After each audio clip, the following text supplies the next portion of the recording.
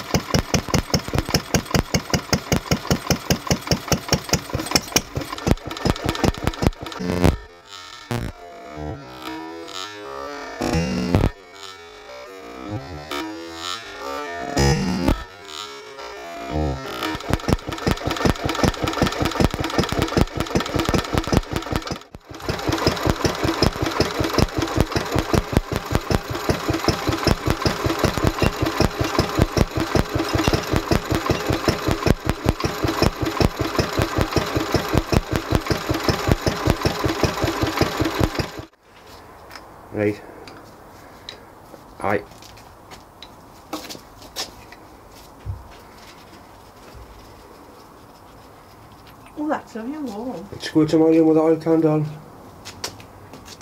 Just in Aye.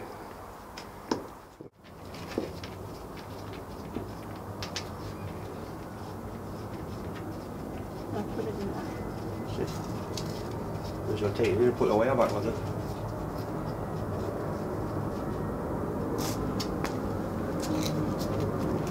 It's how you learn by doing it yourself, right? Right. Right, we're going to let the water out so let's see if we can open that little tap there. and All the water will come out. I know, but it's going to run all over that. It'll be alright. Are you sure? Yeah. Oh, right. Oh. You let us screw the tap out now. Oh, you done that to me. A bit better, So you want to just to span it to fit that. it's dripping. I know when you used to piss it. Oh, technical. And is that the same way that be? Uh,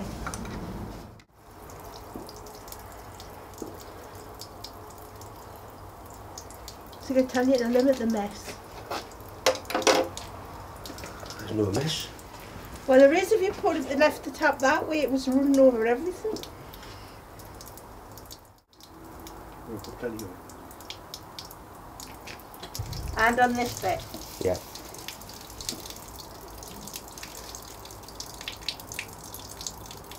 And a little bit as well. This bit. What about them here? No. No, no, just a bit, the bits are not beautiful.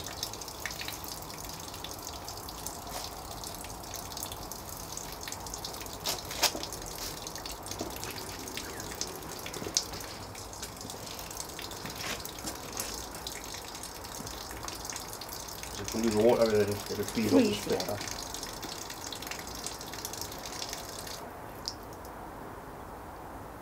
Still water in.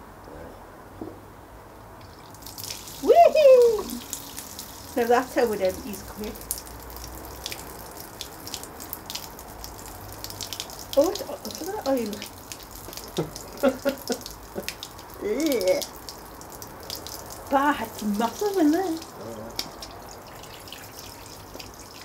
And it's still going. I thought it just went to there, but it was all the way down there. never-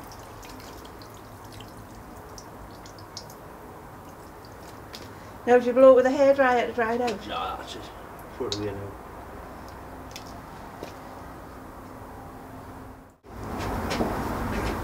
Is that way better? Aye. Are you sure? Action! Do I need to come and look at it? That's lovely. You can't. How can you look at it? Right. Well, that's, take a that's picture. better.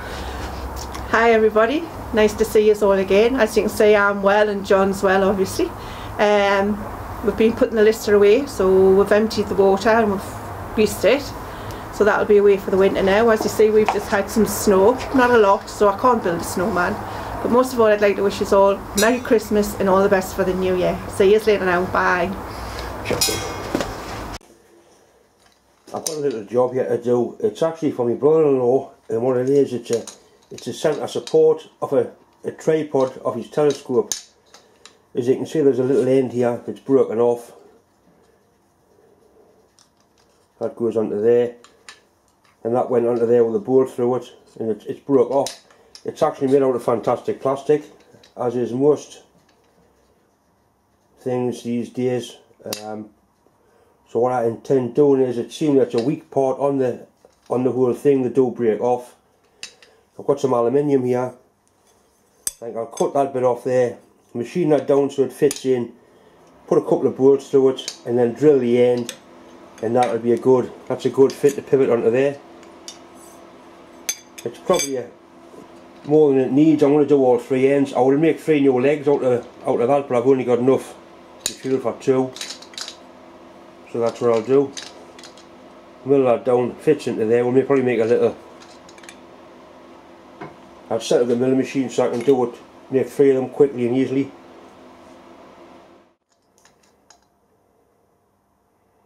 Nine and a quarter mil.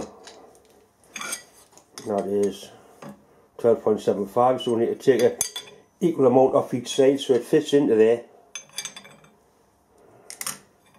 It's already the right the right width for that end.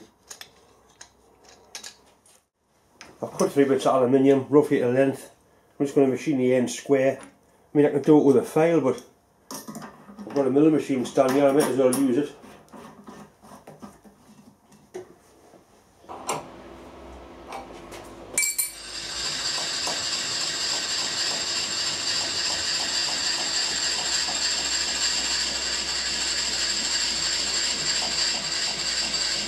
And look, I'm say the, the base because it's easier for the camera to see what I'm doing.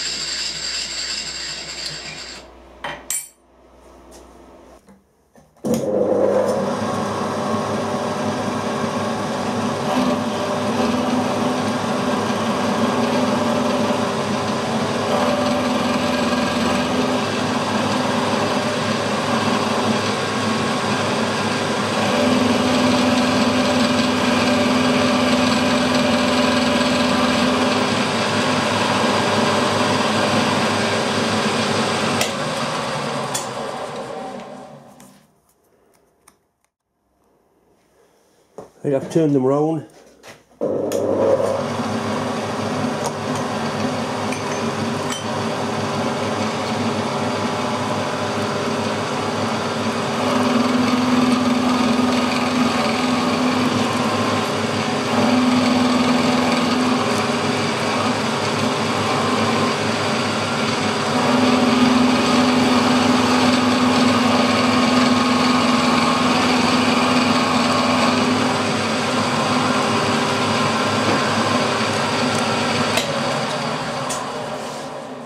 Right, that gives me three blanks the right length.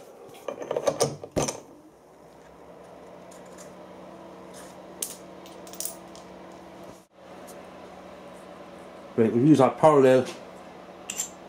Make sure we get them all nice and level.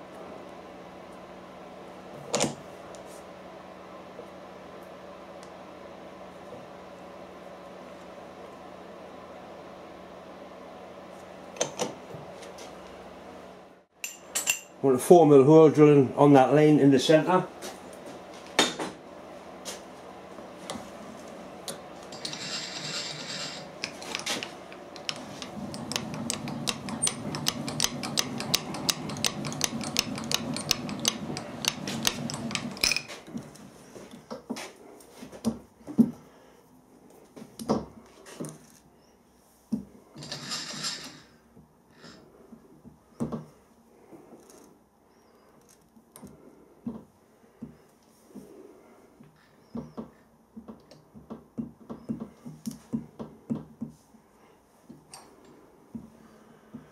Right, it's dead on the line there, and I can estimate the centre of that to within probably the fanny's hair of being spot on. Which is there.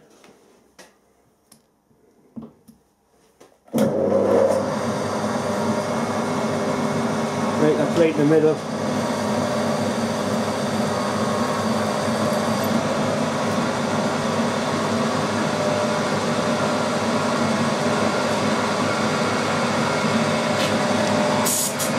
So your D40 type of lubricant is the best stuff for aluminium.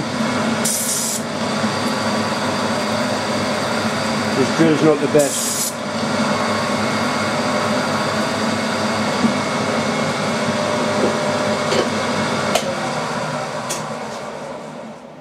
Right, just change that for a better drill. I quite often use a collet chuck for drills, it's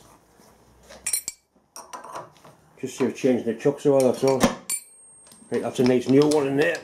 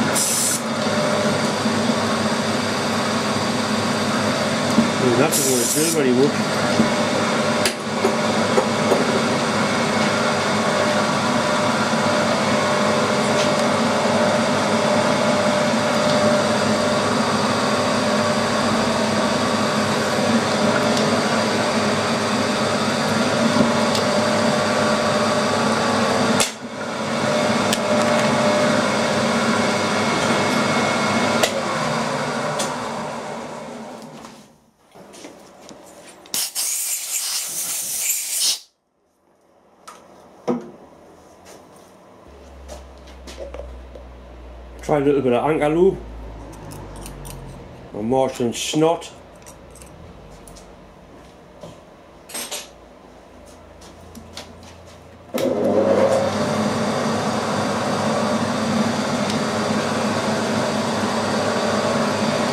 not want to drill this. Right, we're through. I couldn't understand why it wouldn't drill. I was having to put that much weight on. And what's happened is the quill lock somehow was getting on the other side of there and it jammed the lever. The handle had been across there and when I pulled the pulled down that stoppage pushed the handle down and jammed it.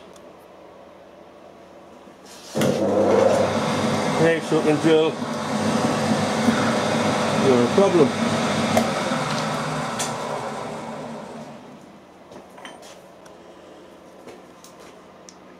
This Noga tool is absolutely brilliant for deragging, deragging wheels like that.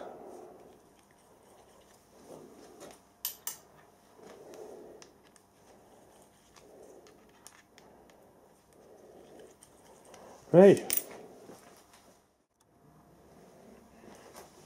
I'm just going to put a chamfer on the two edges. I could do this with a file, but I might as well do it in the milling machine, that's what it's for.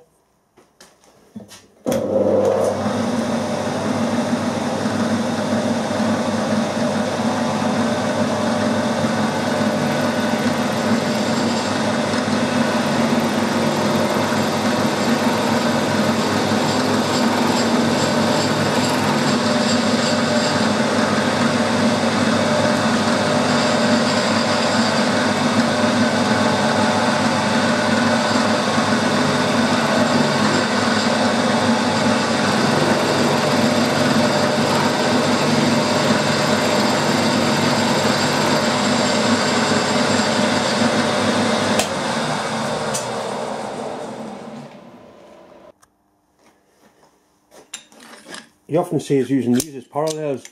What they are, it was an old uh, depth vernier, like a table mounted vernier, that was scrapped and I cut these up and the ground are nice and accurate to do, do for what I want them to do.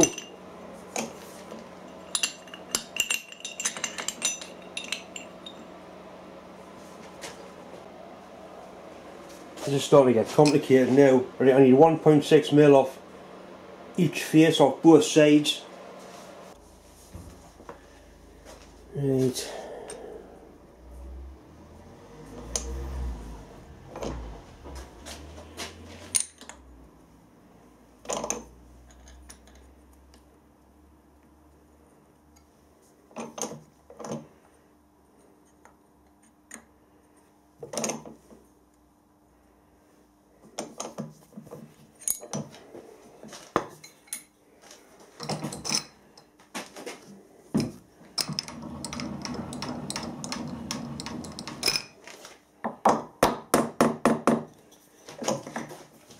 Okay, another 1.6.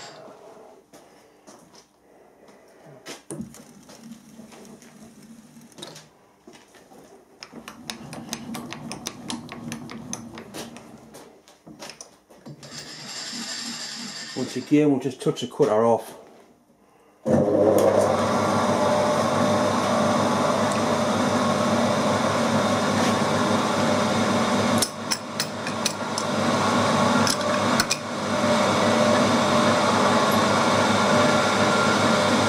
There.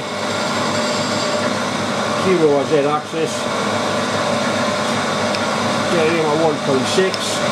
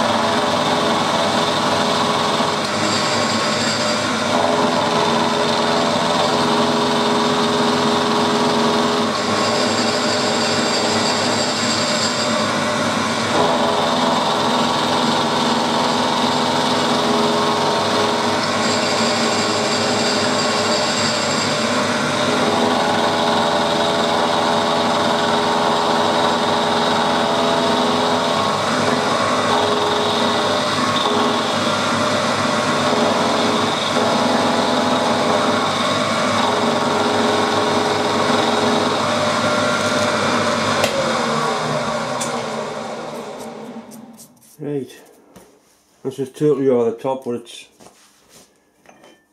it's for an hour in the workshop. And I'm enjoying it, that's the main thing. Next thing is to cut off the damaged part of the legs. I could always set them up and use a slitting saw. But I just cut them off with a hacksaw.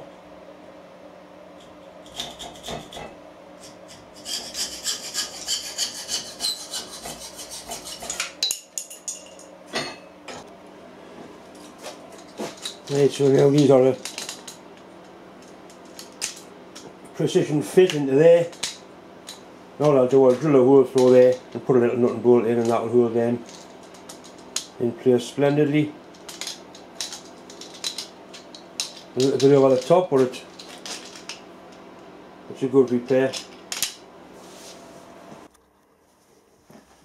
Right, I've set it up to drill the, the 4 mil hole.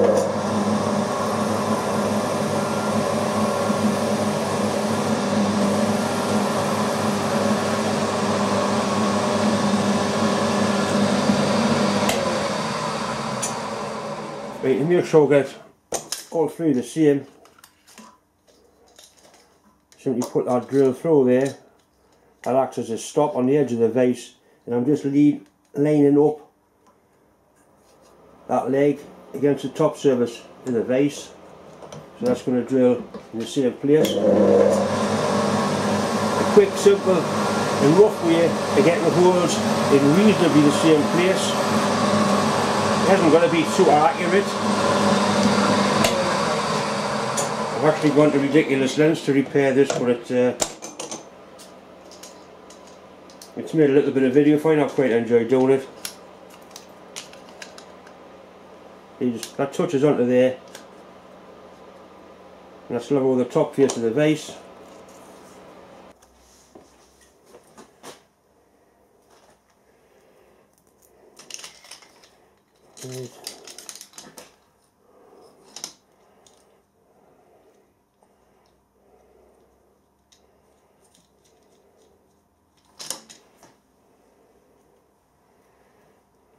Suppose I could have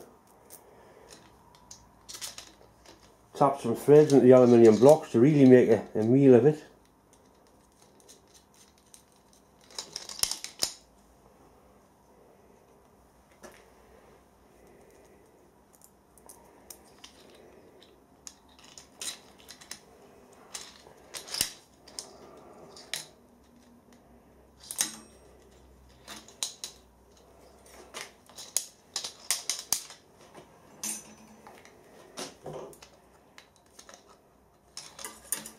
I've got an 8 mil spanner somewhere but I don't know exactly where.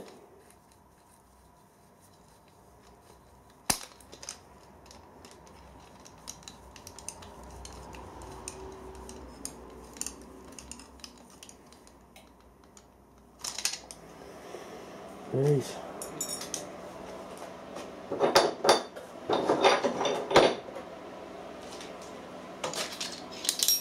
that went like that and then the little pivoty the foot goes on there. And that's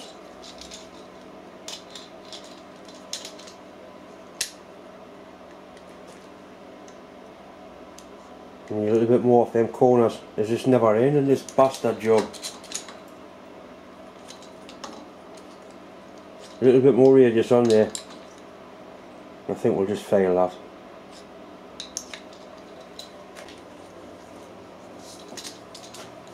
Right, I've rounded it off with a file.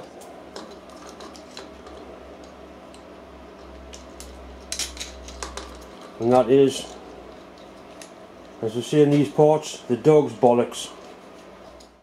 I am going to make a start next week on the collet chuck for the, the Harrison lathe. I'm going to use that, the drive plate, the catch plate I got given and make a machine this down and make a boss to fit on it and make a, an ER32 collet holder, something like that. That'll be a, I'll probably do it in probably three or four videos, I'll take my time and do each stage. Uh, that's quite some nice interesting machining. Uh, there's, a, there's a thread to cut, there's a taper to do. I might try using my little die grinder and grind the taper this time. I've got some nice tool steel uh, to make it out of. Nice hard stuff. It's good to machine. So we'll probably be having a go with that. As you've just seen on the video, Debs is doing well, she's in good spirits. Uh, my dad's doing well. He's a lot. He's improved a lot. He's he's getting himself in a routine now, and he's looking forward to going to the hospital, getting himself sorted out, and then hopefully getting back to normal. Once again, I'd like to say thanks very much for watching my channel and subscribing to my channel, clicking the like button, but especially for all the messages, all the get well messages that are coming in towards Deb and my father Ed. Thanks very much. It does make a massive difference. Um, it's cheered her up and when it really has it's cheered me up as well. Anyway, thanks.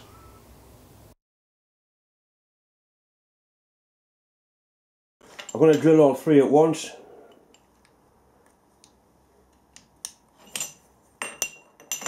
So we'll just use this parallel to get them all. Bollocks! Get them all bollocks